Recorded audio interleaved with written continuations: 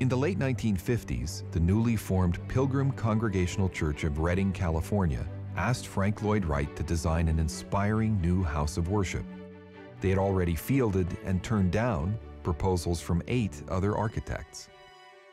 Wright was moved by the mission statement they sent him and directed his staff to tell the people of the little church that I will help them out. When presenting his drawings, he told them, Your faith has emotion in it, and so does your building. Final revisions of the drawings were completed only days before Wright's death in April of 1959. Mr. Wright called this a bold and bolder Gothic design.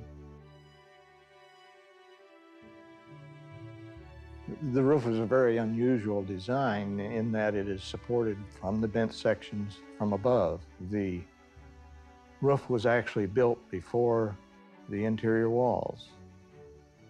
It was rather an odd appearance of seeing this roof swinging from little pipes before there were any walls in the building. These suspending frames, known as bents, are steel reinforced concrete and were cast on site. Wright aligned them with snow covered Mount Shasta, the region's most prominent feature. The bents pass from outside to inside and back to outside as they arch over the building.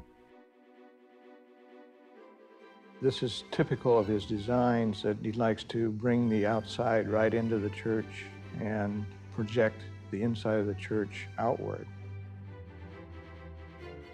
The roof itself is meant to look like the interior of a tent, which kind of represents the faith of the Israelites going down into a tent to worship.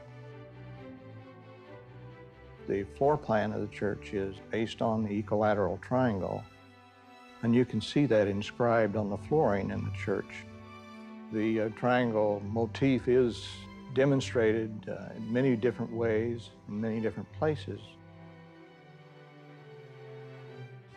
Local contractors were wary of bidding on such an unusual structure. Only one even submitted a bid, and it was way too high for the small congregation to afford. We organized work parties. And the work was not only done by the men, but the women and children of the church also found things that they could do. And eventually we found that we were bending rebar and tying rebar and helping pour concrete. Members of the church uh, placed most of the rocks into the forms, wired them in.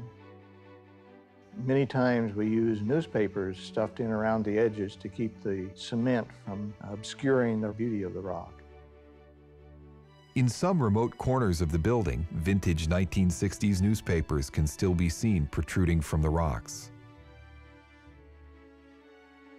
Remaining members of this church uh, look back on that as one of their most fond memories, as working on the church and bringing it up from the ground by themselves.